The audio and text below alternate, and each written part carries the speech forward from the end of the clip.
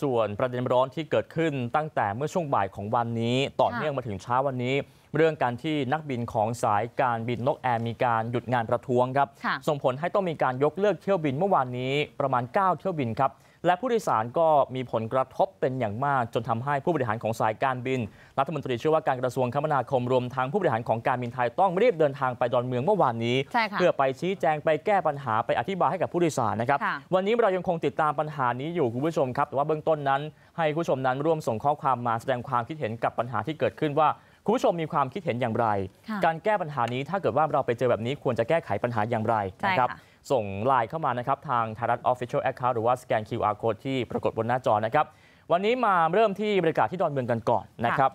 แม้แม้ว่าว่าสายการบินค่ะจะประกาศมาว่ามีการยกเลิกเที่ยวบินนะใช่ฮะค่ะแต่ว่าวันนี้ก็ คงจะมียกเลิกอยู่ประมาณ 2 เที่ยวบินใช่ไหมฮะใช่ค่ะ ซึ่งทีมข่าวไทยรัฐทีวีก็ได้ไปเกาะติดสถานการครัณ์บนะคะที่ดอนเมืองอยู่ในขณะนี้รวมทั้งตั้งแต่ช่วงเช้าที่ผ่านมานะคะก็พบว่าตารางแสดงเที่ยวบินวันนี้นะคะแจ้งยกเลิกสายการบินของสายการบินนกแอร์ไป 2 เที่ยวบินนะคะแต่ว่าครับเป็นเที่ยวบินในช่วงบ่ายนะคะอืมไปติดตามรายละเอียดพร้อมบรรยากาศนะคะจากคุณขวัญโมชา ผู้สื่อข่าวไทยรัฐทีวีรายงานสดเข้ามานะคะจากท่าอากาศยานดอนเมืองค่ะ เชิญค่ะ ตารางแสดงเที่ยวบินที่อาคารผู้โดยสารภายในประเทศที่สนามบินดอนเมืองนะครับ เมื่อสักครู่มีการขึ้นแสดงสถานะยกเลิกเที่ยวบินของนกแอร์ในช่วงบ่ายวันนี้ 2 เที่ยวบินที่จะไปอุบลราชธานีและก็อุดรธานีนะครับแต่ขณะนี้เบื้องต้นยังไม่ได้รับการยืนยันจากสนามบินดอนเมือง แล้วก็ผู้บริหารจากสายการบินนกแอร์ครับ ตารางแสดงเที่ยวบินนกแอร์มีการแสดงสถานะยกเลิกเที่ยวบินรวมแล้ว 5 เที่ยวบินจากทั้งหมดที่มีกำหนดเดินทางวันนี้รวม 80 เที่ยวบิน โดย 3 เที่ยวบินในช่วงเช้าคือเที่ยวบินดีดี8504 ไปลำปาง เที่ยวบินที่ดีดี8002 ไปแพร่ และเที่ยวบินที่ดีดี7504 ไปภูเก็ต ทั้ง 3 เที่ยวบินผู้บริหารสายการบินยืนยันว่าเป็นข้อมูลเก่าที่ยกเลิกไปนานแล้ว และได้แจ้งการท่าไปแล้ว แต่ยังไม่มีการดำเนินการเอาชื่อเที่ยวบินออกจากตารางเที่ยวบินครับ ส่วนอีก 2 เที่ยวบินคือเที่ยวบินที่ดีดี9316 ไปอุบลราชธานีกำหนดเดินทาง 13นาฬิกา20 นาทีและเที่ยวบินที่ดีดี9212 ไปอุดรธานีกำหนดเดินทาง 14นาฬิกา5นาทีได้ขึ้นสถานะยกเลิกเช่นกันเมื่อสักครู่นี้นะครับ จากการสอบถามไปยังผู้อำนวยการใหญ่ ฝ่ายบริการลูกค้าของนกแอร์ที่อยู่ในพื้นที่ ได้คำตอบเพียงสั้นๆ ว่าอาจจะมีการยกเลิกจริงครับ แต่ยืนยันว่าผู้โดยสารทั้งหมดจะเดินทางไปจุดหมายได้ร้อยเปอร์เซ็นต์ครับ และจากการพูดคุยกับผู้โดยสารที่มาใช้บริการวันนี้ ส่วนใหญ่ยอมรับว่ากังวลว่าจะไม่สามารถเดินทางได้ครับ และมาสอบถามเจ้าหน้าที่ของสายการบินไม่ขาดสาย เพื่อเช็คความชัวร์ว่าเที่ยวบินที่จะเดินทางไม่ถูกยกเลิก หรือเกิดปัญหาล่าช้าครับ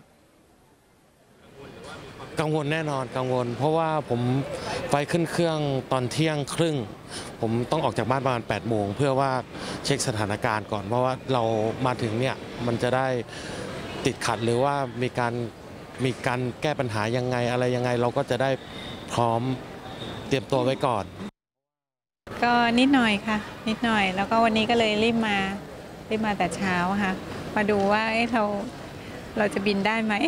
ก็โอเคนะคะ ดูบรรยากาศก็ดูสงบดี ดูสงบดีก็น่าจะไม่มีอะไรผิดพลาด คงได้ไป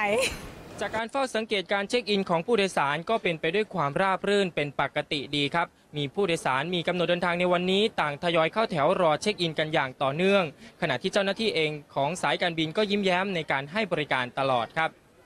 ส่วนการแก้ไขปัญหาของสายการบินนกแอร์วันนี้ คือให้สายการบินพันธมิตรทำการบินแทน ซึ่งจากการรายงานข่าวระบุว่า วันนี้นกแอร์จะมีการยกเลิกเที่ยวบินและและใช้เที่ยวบินร่วม หรือโค้ชแชร์ ร่วมกับสายการบินพันธมิตร 21 เที่ยวบินครับ สำหรับประชาชนที่จะเดินทางมาใช้บริการที่สนามบินดอนเมืองนะครับก็ขอให้เช็คความชัวร์จากสายการบินโดยตรงนะครับ ซึ่งขณะนี้บรรยากาศล่าสุดที่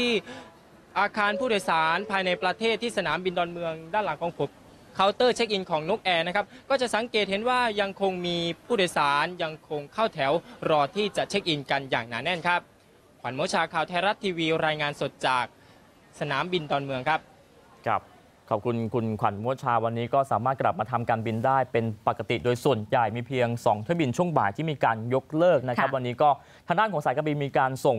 ข้อความไปขอโทษกับผู้โดยสารแล้วในช่วงเช้าที่ผ่านมาด้วยนะครับค่ะส่วนใครที่ยังคงสงสัยเกี่ยวกับการเดินทางด้วยเครื่องบินของสายการบินนกแอร์ในวันนี้นะคะสอบถามไปก่อนก็ได้นะคะทาง call center ของสายการบินนกแอร์นะคะ1318 ค่ะ